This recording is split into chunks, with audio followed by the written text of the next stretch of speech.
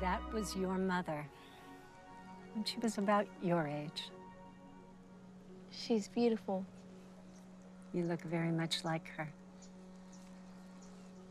So why did grandfather and her not get along?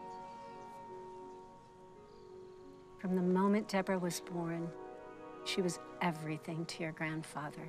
The two were inseparable. So much love. Sam thought that Deborah had a great career ahead of her.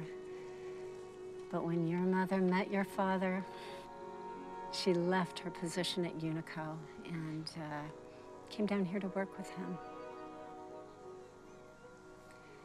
Sam thought it was a waste of her talent. So he offered your father money to fire Deborah. A lot of money.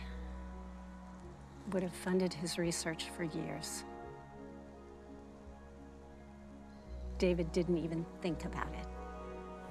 And when Deb found out, oh, the fight they had, I've never seen either of them so angry. I always thought if Deborah had lived longer, they would have found their way back together. But.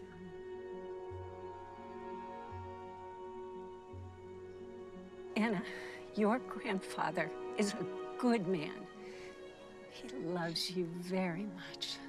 Then why do this? I think he's afraid of being alone. I don't understand. Good. You are far too young to understand that. I came here to give you something.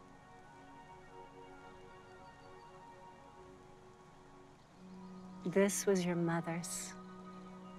They returned it to me after the accident. It's beautiful. My mother gave it to me. And I gave it to Deborah. I think she'd want you to have it. I love you, Grandma. I love you too. Thank you, my dear, dear Anna. I'm so grateful I got to hear that. And don't worry. Life has a way of working out just the way it's supposed to.